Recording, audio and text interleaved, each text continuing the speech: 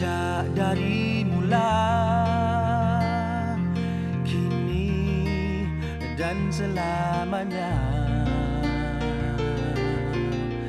kita dan negara tercinta sehala selangkah.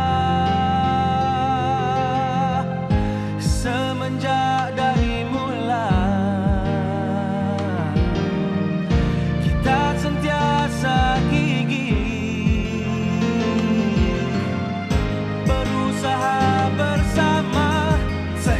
summer.